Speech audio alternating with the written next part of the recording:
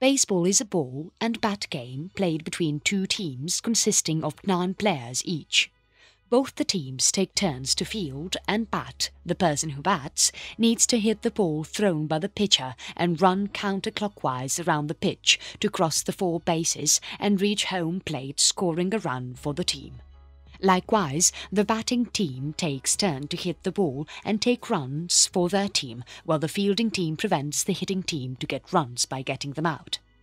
Any of the player on the batting team who has reached the base safely is allowed to progress to the subsequent bases while their team members bat and have hit the ball. If the fielding team manages to get three outs, they switch to batting.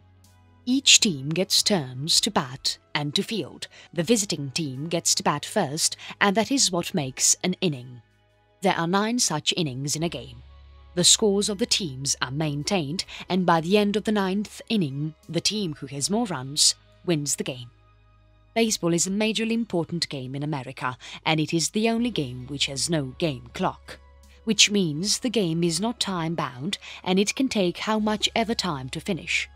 Baseball can be played by people of average height and weight. You do not have to be heightened or weighted to play the game like in basketball and football. Like the Americans usually say, anything for the love of the game. They really do mean it. There are numerous controversies regarding the origin of the game. Cricket rounders and softball are all believed to have taken shape from primeval public games. All these games were somewhat played in the same manner as the modern day baseball, even though there are no similarities in the name of the games. There were many other ball games which had comical names such as poison ball, goal ball and stool ball. Some historical sources have the mention of Thomas Wilson, a conventional leader in England who in the year of 1700 had condemned the game baseball and few other sports to be played on Sundays for the fact that lesser people visited the church. There are many such interesting evidences connected to baseball. One such claim seems to have come from a person named David Block. He claimed that stool ball was the original version of baseball.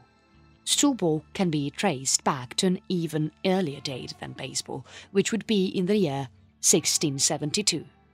This claim only grows our curiosity in the game of stool ball and how was it played. It is known that a player who would bat stood in front of the stool and the pitcher from the other team would pitch the ball. If the player who is batting hits the ball and the other team who is fielding catches the ball, the batting player would be considered out. Just like in cricket, if the ball happens to hit the stool where the player who is batting stood, it is again considered to be an out for the batting team. The origin of baseball It is difficult to trace the precise evolution of baseball from the older games of bat and ball.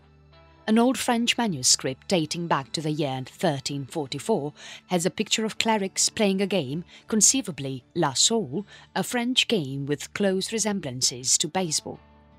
Many other old French games like the coup, la balle empoisonnée and la balle à bâton appear to be associated as well.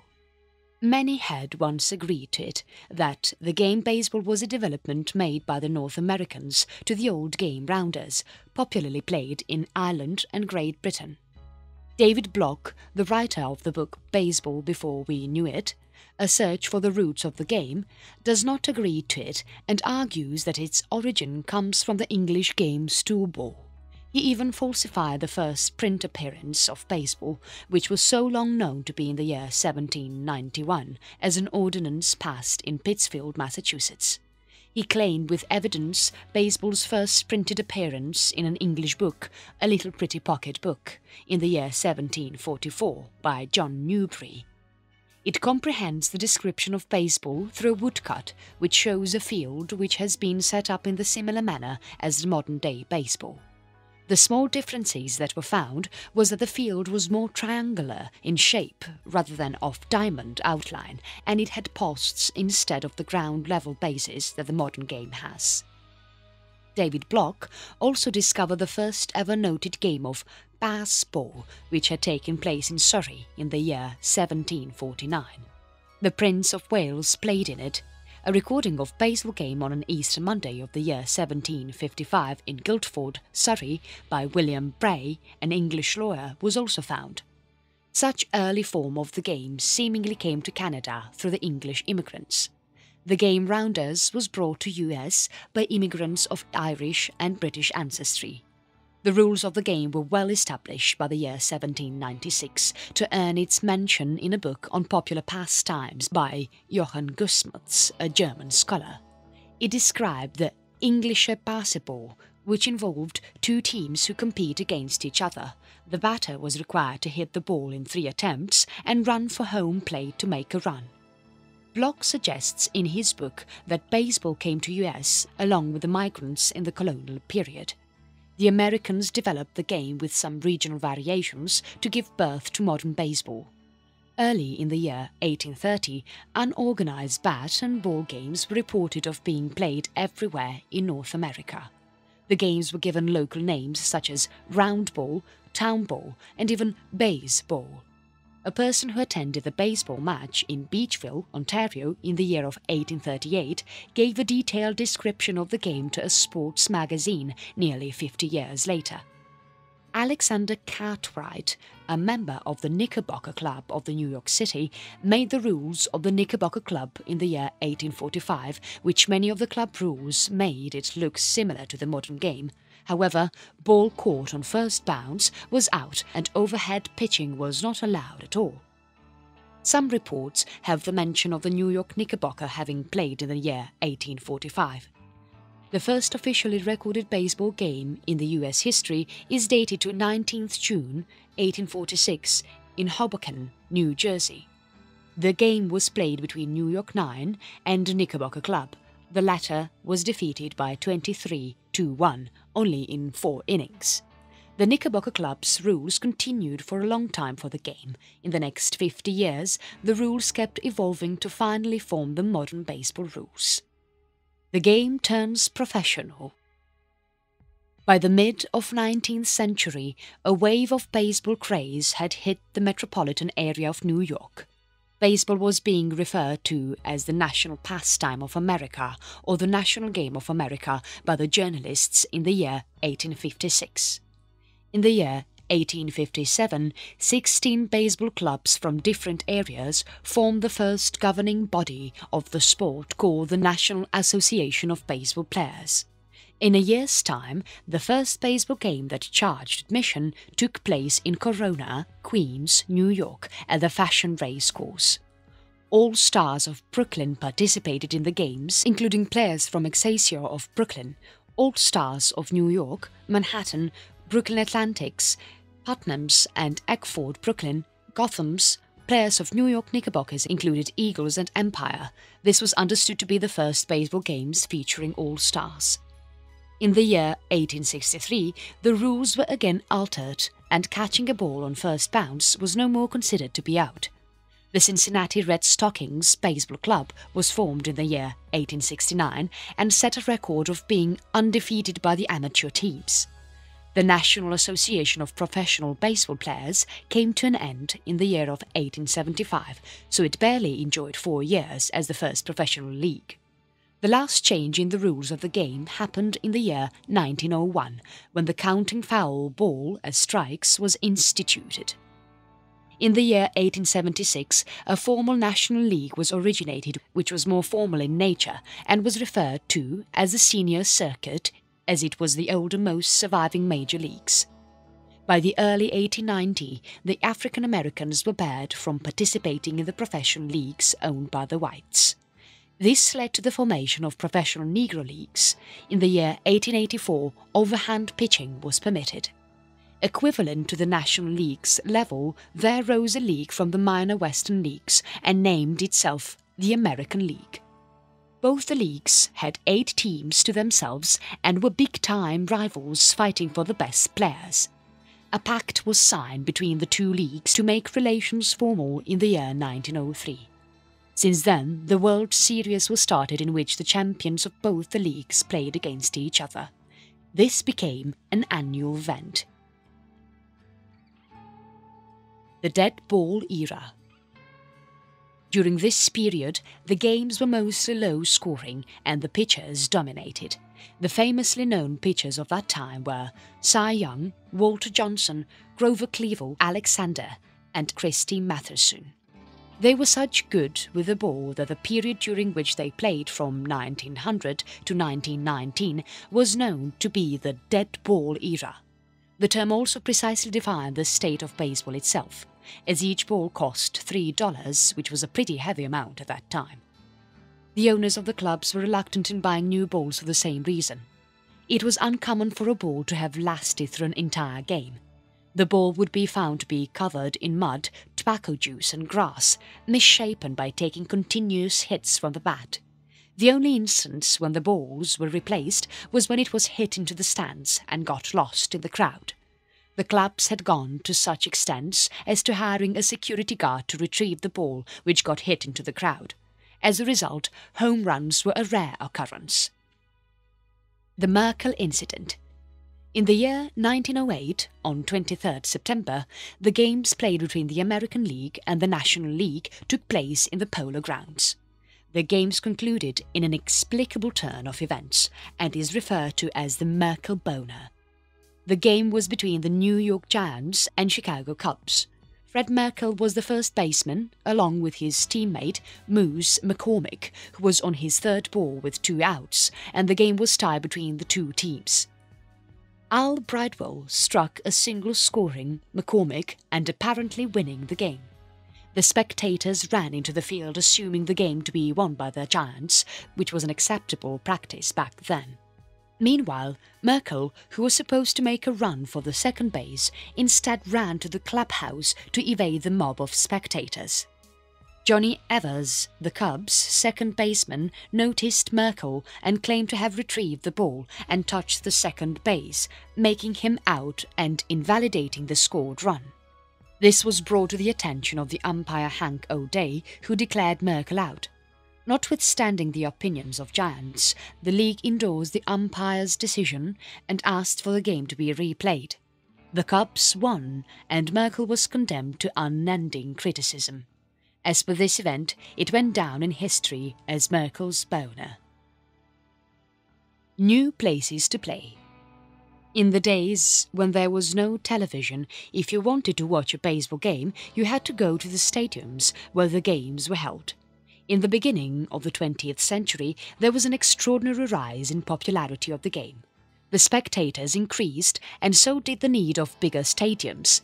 Many new stadiums were built solely dedicated to the baseball games, and many of the existing stadiums were enlarged for the same, including Sharp Park, Tiger Stadium in Detroit, Ebbets Field in Brooklyn, Fenway Park in Boston, Polo Grounds in Manhattan, Wrigley Field, and Comiskey Park in Chicago. The Black Sox Scandal the fixing of the baseball games by players and gamblers functioning together had been doubted from the year 1850. Players like Tris Speaker and Ty Cobb were accused to have supposedly fixed the outcomes of the games. The Major League Baseball's conceit was ultimately exposed after the 1919 World Series, and it was famously known as the Black Sox Scandal. The Chicago White Sox had an excellent season of winnings and were suspected to win the World Series of 1919 by many. They were arguably the best baseball team with a good defense, deep lineup, and strong pitching players.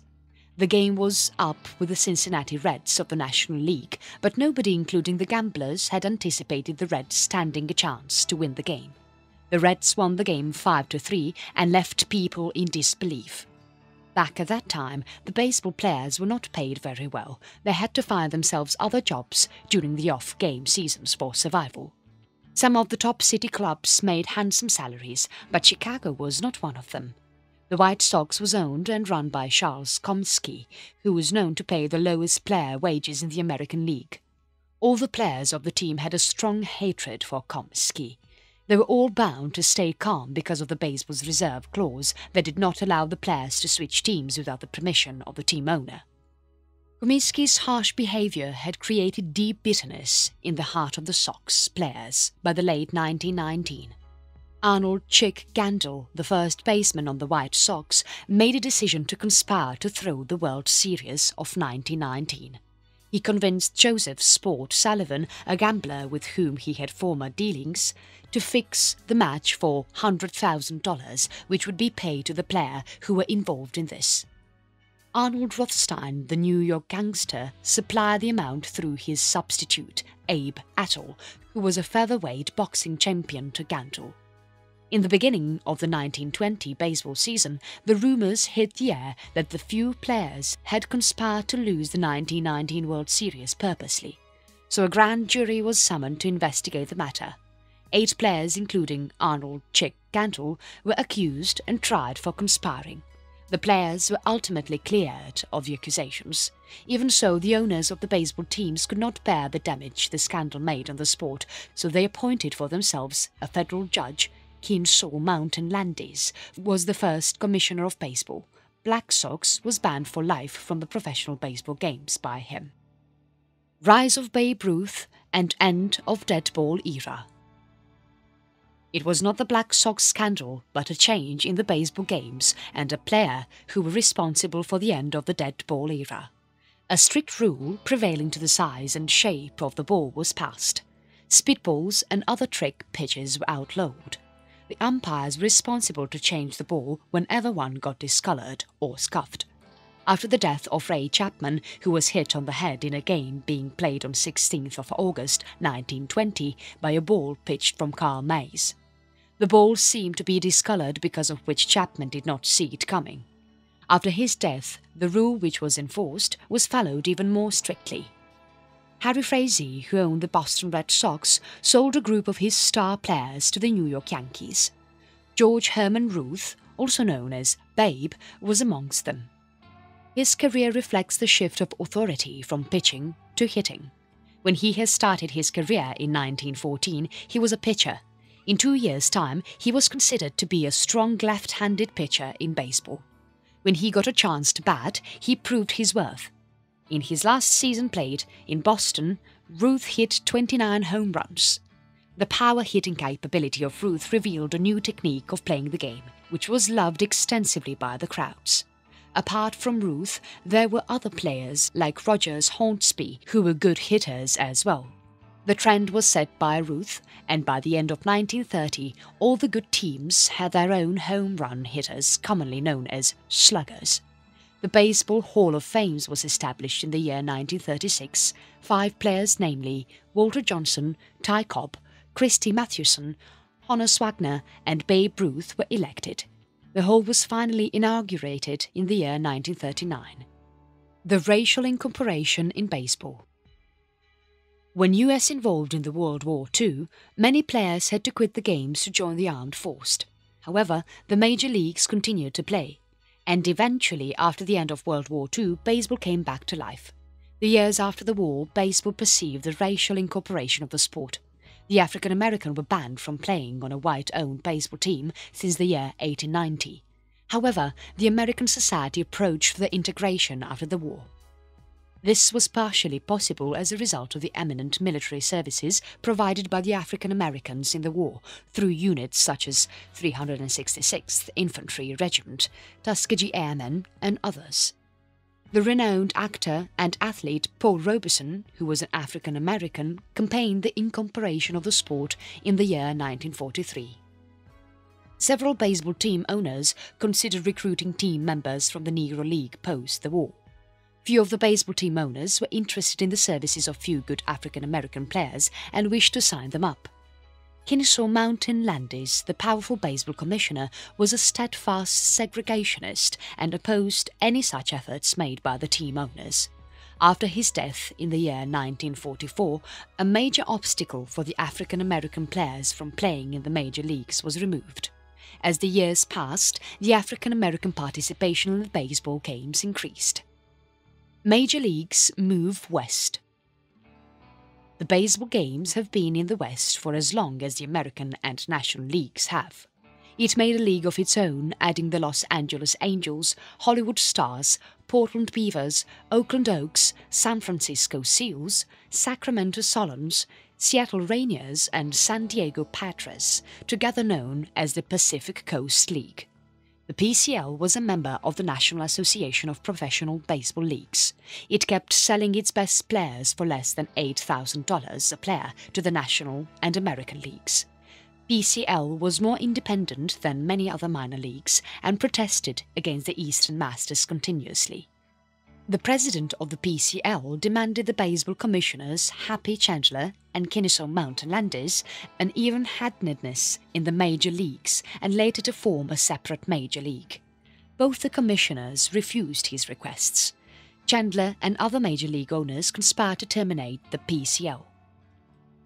Baseball in the years 1953 to 1955 the baseball franchises of the major leagues were mostly confined to the northeastern parts of the United States until 1950s. This was mainly because the locations of the teams had remained unchanged from 1903 to 1952. Boston Braves were the first team in 50 years to have relocated to Milwaukee in the year 1953 and the club set their attendance records there ever since. The trend was then followed by other teams like the St. Louis Browns, who in the following year moved to Baltimore and renamed themselves the Baltimore Orioles. The Philadelphia Athletics, in the year 1955, moved to the Kansas City. National League leaves New York. New York market was torn apart in the year 1958. The New York Yankees of the American League were becoming a leading attraction. At that time, the West had numerous fans of all age groups, and it seemed to be a comfortable market for the esteemed teams of the National League, such as the New York Giants and Brooklyn Dodgers. The strategy was to place these two dynamic clubs in any two big cities of the West, destroying any ideas or endeavours by the PCL to form a third major league.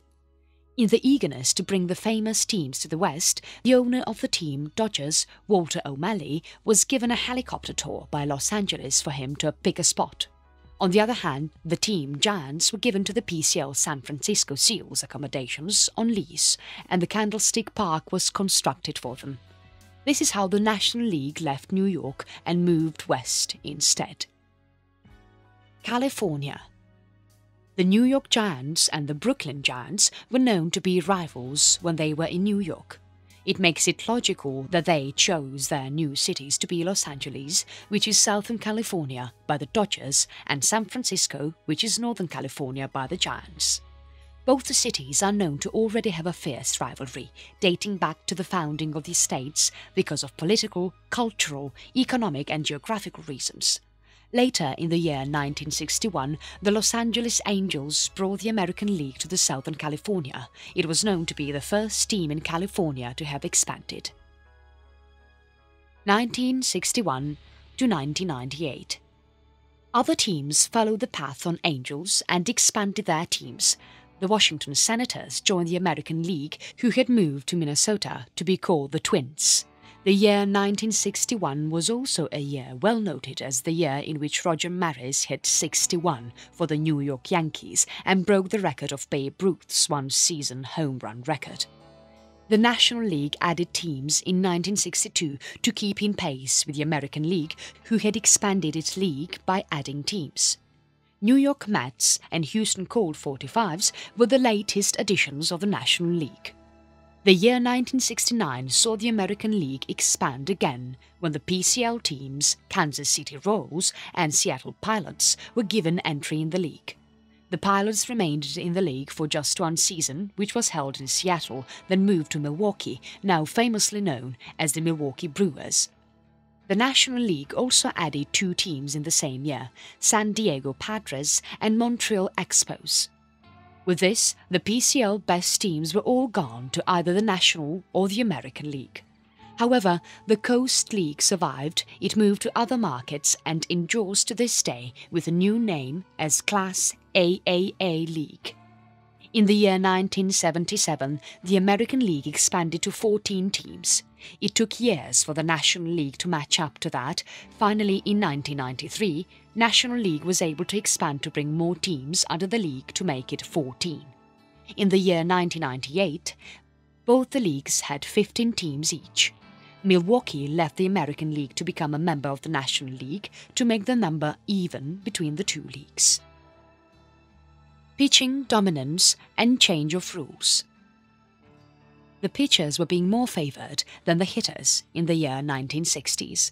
In the year 1968, the player who won the American League batting title was Carl Yastrzemski with the average of 301, so far the lowest in the history of baseball. Denny McLain of the Detroit Tigers won 31 games as a pitcher the same year. The major baseball leagues had to make some changes in the rules considering such events. In the year 1969, the strike zone was reduced and the pitcher's mound was lowered. Invalidating the reserve clause. Since the foundation of the major leagues, the control of the game and the players were in the hands of the team owners. Despite a few players' organization that had transitory lives, the owners' absolute control over the game lasted for nearly 70 years. In the year 1966, the players sought the help of Marvin Miller, an activist in the labor union, to create the Major League Baseball Player Association, MLBPA. Following this, Don Drysdale and Sandy Koufax, well-known players of the Los Angeles Dodgers, denied to renew their contracts. The end of reserve clause was near, which had held the players to play for one team. The MLBPA fought for the rights of the players in the court and lost. But the damage was made and even though the reserve clause survived, it had been irreversibly weakened. Finally, in the year 1975, Dave McNally and Andy Messersmith, players of the team Montreal Expos, played without signing contracts for a year and later declared themselves to be free agents as per the arbitrator's ruling. The owners had no other choice than to accept the terms of the MLBPA. With this, the reserve clause was successfully replaced by free agency and negotiation. The marketing era Many changes were seen in the 1980s. The Major League games were affected drastically from the mixture of effects conveyed by television broadcasts of the games, free agencies, changes in the science of sports, advertisements and more. These in turn led to fan dissatisfaction, steep rise in prices, changing the game plan, use of steroids by players for better performance. Science of Sport In the period of 1980s, the need of workout and exercises increased. Body training equipment were improved in the weight rooms. Doctors and trainer introduced healthier schedules and diets to make the players healthier, stronger and bigger than ever. Another change in the game was the implementation of pitch count. In the history of baseball it was a usual thing that one pitcher pitches through the entire game. Now the coaches made sure that one pitcher does not pitch more than 125 balls for the safety of their arms. Therefore, more pitchers were trained, few hurlers with high velocity pitching, middle relievers and closers. Television All the games had been watched live since the 20th century. After television sports was introduced in the 1950s, all the attention of the major leagues went on increasing their revenues. Initially, the broadcast was limited to the local area. It affected the independent and minor leagues badly. People choose to stay home and watch the renowned Maury Wills rather than visiting their local ballparks to watch unknown's game. The Major League Baseball controlled the rights and charged fees for all the games that were broadcasted on television as well as radio. It added to their revenue flow in addition to the attention of the people. When the television networks opened, the national channels the games were broadcasted on national television, the baseball games had a large audience. Sponsorship and endorsements Huge media coverage on newspaper, magazines and television to attract the attention of the new generation and increase their interest in reading also helped in attracting sponsors. The players were given financial opportunities to do advertisements, which would ultimately benefit the baseball games itself. Baseball souvenirs and memorabilia and autographs of the players were sold on the internet in the late 1990s for big prices. Big brands like Nike fought to get their logos on the sportswear of the players on the field. By the end of the 20th century during a live game, the backstops of the fields were covered by the advertisements. The player influence Baseball players who were once poorly paid were now living in an age where they were paid extremely well for their services. Side deals The players were approached by big companies for baseball card sponsorship, commercial endorsements, and athletic shoes deals. Sports agents. There were sports agents who figured how more revenue can be generated by the players because of their popularity among the people. They figured which of the players are most popular among the general crowd and put them up with the television contracts to energize the shows and earn revenue in return. Business and strategy plans. The high salaries of the players also became a reason for many change in the game strategies. Even if the players did not perform well, they were not sent down to the minors. Other players who could only rise by the means of good performance were trapped because of these overpaid stars. To make the media happy became the main aim as the major revenue flow came from there. Owners and players feud. In the 1980s, contractual disputes between the players and the owners reached to a serious situation. There had been strikes by the baseball players earlier as well, which caused disturbance in the game seasons. So the owners locked the players out of the springtime training over a dispute of free agency. The owners wanted to tie the players to contracts which the players found unacceptable as they recently got their freedom for the bondage of reserve clause. They set on a strike, which lasted for more than a month, ending up with the owners agreeing to the players' terms. Strike 2 This happened in the year 1994 when the owners wanted to renegotiate the free agency and salary terms. The players went on strike once again on 12th of August 1994. The Major League Baseball declared the World Series to be cancelled on September 1994. Home Run Mania The Americans were infuriated by the cancellation of the 1994 World Series. The fans had stated the strike to be war. There was outrage on part of the fans, however the attendance numbers and broadcast rankings went down in the year 1995. The players played extremely well, breaking old records in the years from 1995 to 2001.